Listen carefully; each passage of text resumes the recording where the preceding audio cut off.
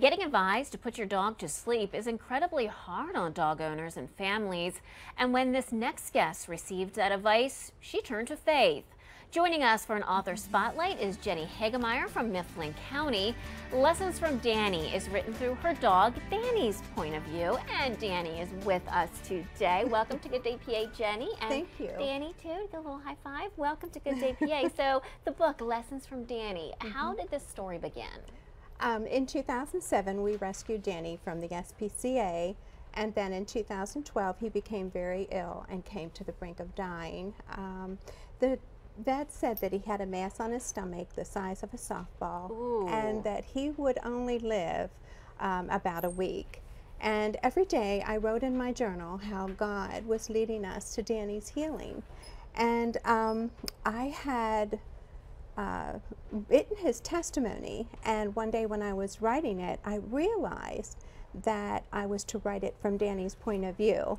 And also, I had written many lessons that I've learned from this little dog. Oh. And I was able to uh, write all that in the book. What do you think the purpose really of the book is, or what do you hope the purpose Um, I believe that many people put God in a tidy, neat little box and think that he can only do certain things. Um, after all, this is a dog and not a human being. Right. And so uh, my thought is that uh, God loves all of everything, every circumstance that we go through, and he cares about our pets. Oh, that he must. He's a testament to that, right? What do you think is so different about your book that would be so appealing to readers?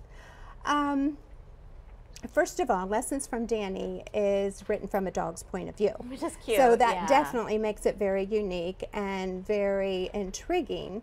And also, um, the story was written to show God's love in a whole different way that reveals His healing and also His grace in all of our circumstances. It really seems neat. Where can we purchase the book?